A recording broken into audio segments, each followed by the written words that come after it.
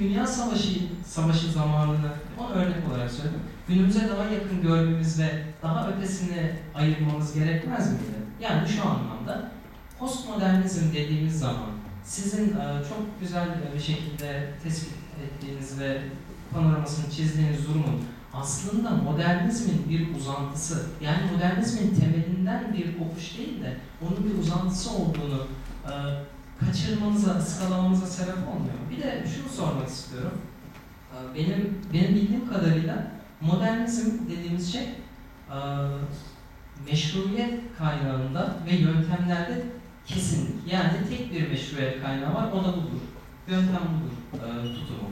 Dolayısıyla postmodernizm gücünü e, ifade edilmezliğinden alır diye güzel bir tespitte bulundunuz. Evet. Fakat bunu kötü kullananlar ve kötü anlayanlar olduğunu evet düşünüyorsunuz galiba. Çünkü o zaman da nedir yani modernizmden önce insanlar anlaşmıyor muydu? Tabii ki dil vardı, kelimelerin bir anlamı var.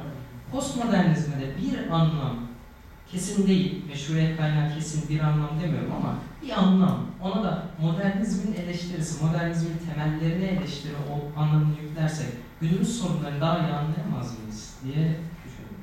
Sağ olun. Çok güzel sorular. Teşekkür ederim.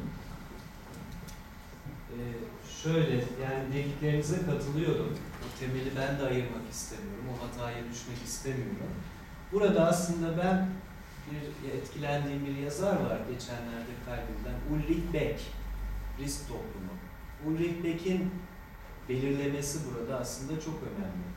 O bu postmodern düşüncesini yani bu temeli, modern temeli ve aralarındaki organik bağı yatsımadan işte post olarak neden koyuyor? Risk yönetimi değişti Ulrich Beck'e göre. Şimdi bizler riskleri yöneten bir toplumuz ve hayatımızda risk yönetimi üzerine gidiyor. Yani moderniteden sonra yeni bir dönem varsa bu dönem risk toplumu dönemidir. Ya da postmodern dediğimiz şey toplumun riskle uğraşması dönemidir. Tabii ki daha öncesinde de riskler vardı ama risklerle kim uğraşıyordu? Siyasiler uğraşıyordu, işte toplumda belli kesim. Yani bir askeri risk varsa ordu uğraşır canım. Yani bu modernitenin şeyi, uzmanlaşmaya dayalı iş bölümü. Ama şimdi öyle değil askerin uğraştığı bir şey sizin cebinize etkileyecek, yaşam biçiminizi etkileyecek, bir yere seyahat özgürlüğünüzü kısıtlayacak, pek çok şeyi birden etkileyecek.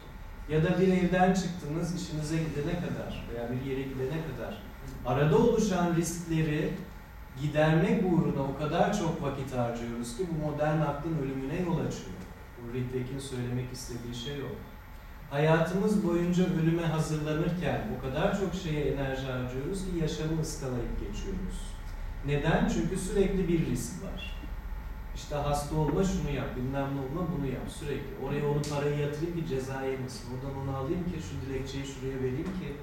Yani giderek modern toplumun içerisinde mesela bürokrasi azalacakken artması azalmış falan değil, elektronikmiş ve azalmış gibi görünüyor ama daha büyük bir bürokratik düzenin içerisinde girmiş oluyoruz. Onun için post-modern ve postmodern dememin sebebi tabii ki bunları böyle koparmak değil, dediklerinize çok katılıyorum. Ulrich Beck'in söylediği anlamda modernitenin devamında karşılaşılan risklerin modern akılla çözülemeyecek kadar farklılaşması, kendi içlerinde çeşitlenmesi ve adeta o aklı da kötü gösterircesine karşımıza büyük riskler olarak çıkması, eleştirisi bu. Ben de o anlamda postmodern ve modern diyorum. Şimdi modernite kesinliktir. Hani postmoderniteye nasıl bir slogan? Bulalım gibi mi o ikinci soru? Onu öyle derseniz hani kesin bir şeyin olmadığı kesinliği gibi bir şey çıkaracaktır postmodern. Hani böyle özvari bir söylem yani. Yani tersine çevirecektir onu. Kesin dediğin her şey senin başına bela açmıştır postmodern böyle diyecektir. Düşün bakalım hayatında. Bunu kesin yapıyorum, bu kesin dediğin her şey senin başına bela olmuştur. Bugünkü hayatta istemediğin bir konumdaysan buna kesinliklerin yol açmıştır. Postmodern böyle diyecektir. Bilim adamlarına da aynı şeyi demiştir. Mesela Newton tamam kesin bitti Newton'un şeyi diyor muyuz? Hayır, Einstein var, kuarklar var. Tabii buyurun. o zaman şöyle bir şey olacak. Ama mesela kar, e, mesela ak derken bir rengi, kara derken bir rengi kesin olarak belirtmek durumu var. Bir de mesela Newton'un e, bir, bir şeyden bahsederken onun kesin olduğunu söylemesindeki durum var. Bence bunlar karıştırılıyor. Bir Yani daha söyler misin? şöyle, modernizmden önce de insanlar bazı şeyleri kesin olarak e, sabitlemişler. Terimleri, kavramları, kelimeleri. Fakat modernizmden sonra bizim eleştirdiğimiz türden şeyler işte ben burada temelin e, ıskalandığını düşünüyorum. Modernizmde mesela Newton dediğiniz bu hani paradigmasının bugün e, yıkıldığı, değiştiği bir düşünür, e, bir bilim adamı ve e, onun kavramının kesinliği, postmodernizmin karşı çıktığı kesinlik, yöntemin tek oluşu ve meşruiyet kaynağının tek oluşuyla alakalıydı. Ama mesela ak renginin ak olması, yöntemin e, dayatması, meşruiyet kaynağının dayatmasıyla ilgisiz. Dolayısıyla e, postmodernizmin tanımını yaparken biz modernist anlamda bir kesinlik değil ama modern çağın öncesinde de gördüğümüz türden bir kesinlik yaparsak bunu anlaşabilmek adına söylüyorum. Yoksa postmodernizm derken oyuncak ayıyı kastedersem ne kadar yol? Anladım anladım. Yani aynı şeyi söylüyoruz doğru. Evet. Ee, şimdi bu beyazdır diyen bir şey yerine, söylem yerine bu şu tonda bir beyazdır. Ya da işte maviyi şu, şu mavi, bilmem ne mavisi, mor bilmem ne moru diye böyle tanımlıyoruz ya bu işte postmodern aklın bir söylemi.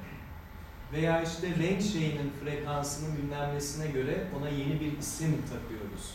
Moda bir tabirde bulunuyoruz. Yani beyaza beyaz olduğu için sahip çıkmıyoruz. Beyaza bir şeyin beyaz olduğu için sahip çıkıyoruz. Bu işte postmodernlik. Bu tabii ki modernitenin söylediği o ayrımdan farklı bir şey de değil özünde. Ama onu çeşitlendirmiş oluyor. Yani bir daldan birkaç meyve çıkınca o dalın daha verimli olduğunu düşünmek gibi düşünüyor postmodernizm.